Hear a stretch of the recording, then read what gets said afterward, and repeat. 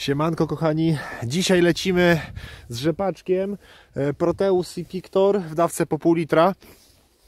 E, zabieg postanowiłem wykonać 60, lecz to był błąd i starym pilmetem. E, nalałem 1800 litrów wody.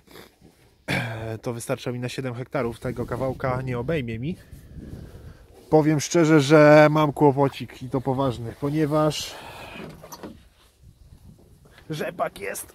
O kur... wyższy od 60 eee,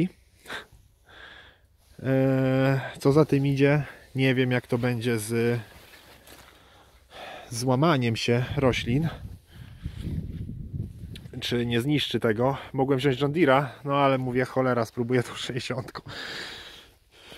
jednak powiem wam, że strzeliłem się z tym nawożeniem.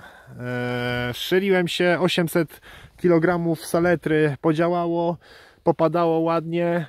E, rzepak jest wyrośnięty. Chorób żadnych nie widzę.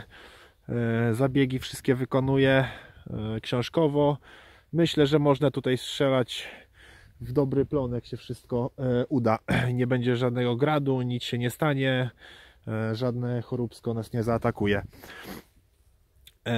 To co, kochani, pozdrawiam Was z pięknej Lubelszczyzny, okolice Krasnego Stawu.